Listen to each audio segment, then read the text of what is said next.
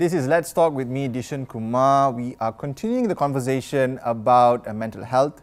And uh, let's move on to the health facilities in Malaysia. Do you think there are enough facilities in Malaysia to treat mental health in Malaysia? Not at all. that was my immediate response. we don't have enough Experts, human yeah. uh, resource. yeah. Okay. Uh, that's, I mean, I think that's one The of the manpower required. Manpower required, and then of course the facilities as well. Some of the facilities are pretty drab. Hmm. Um, I mean, if you go to a psychiatric ward in a general hospital, uh, you're already suffering from a very serious illness. It causes a lot of disability, Hmm.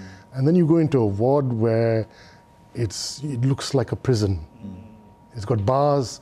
It doesn't have uh, a cupboard for you. Doesn't have any curtains, and your privacy is not uh, respected.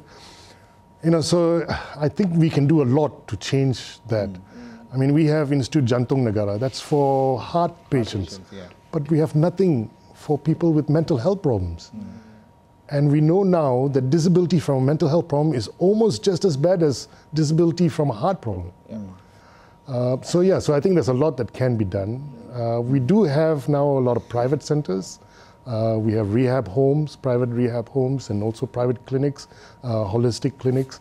So the options are there, but insurance doesn't cover for mental health problems. How, how does the insurance come into when you are having uh, solace, in solace especially? How does that play into part? Of, Well, actually, some f- insurances do cover, but not the local insurances. Not the like you local, said. You know, the, the American, I think there are a few Australian, American, British, English, uh, UK based insurance companies do cover.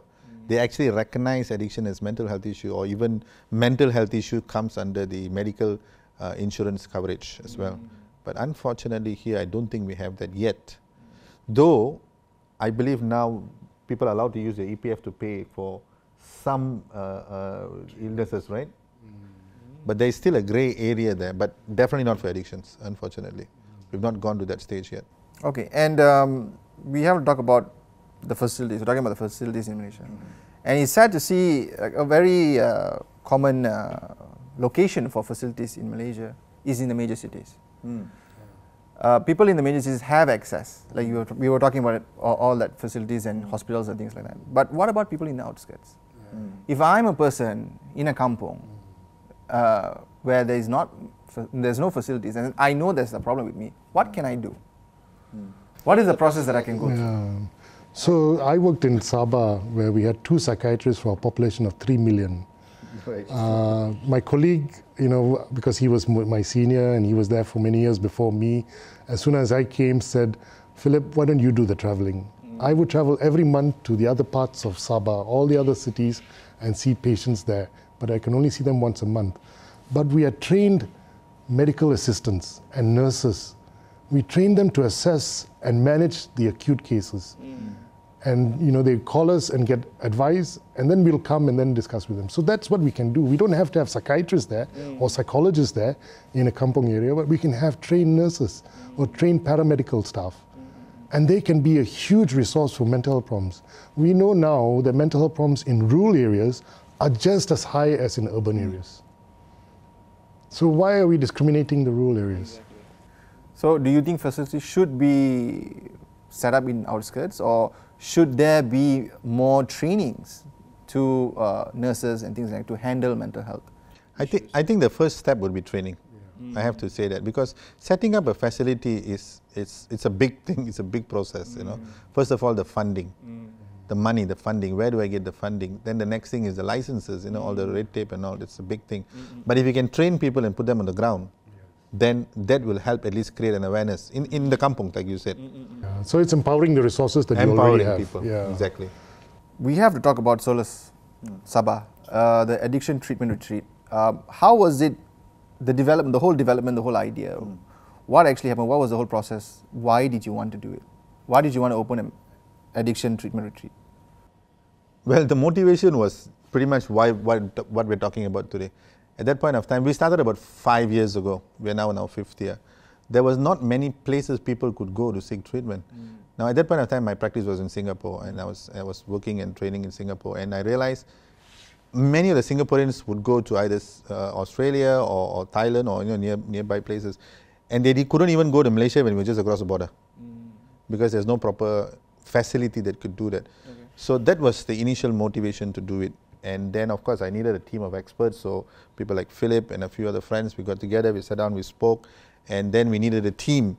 So that's when I realized not many people in Malaysia were actually addiction trained. Mm. Even psychologists or counselors were not addiction trained. So we needed to train people. So we brought in foreigners to help us to start up. But now what we are doing is we are training people. So we are, we are offering courses. We are training the local university students.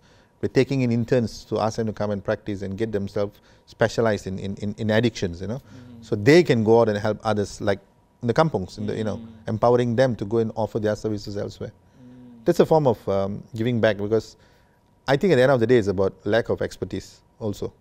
Yeah, that's true.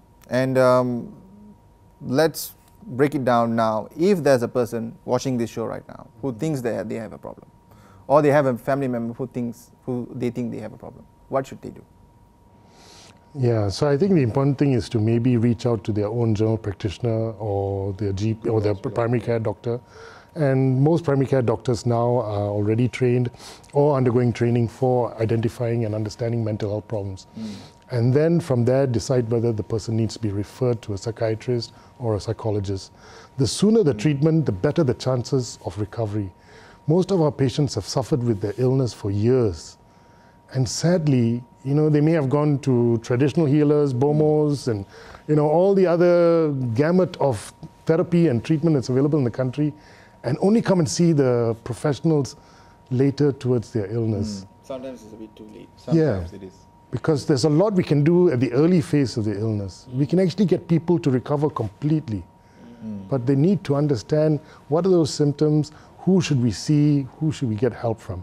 There are NGOs that actually run websites that provide this information. The Malaysian Mental Health Association mm. has a website that actually shows where you can find mental health help uh, wherever you are in the country as well. All right. So thank you, gentlemen. We'll take a short break. Uh, next up, we are actually talking about a topic uh, from uh, the World Economic Forum, and uh, we'll get uh, our guest thoughts, and uh, we'll see after the break. This is Let's Talk.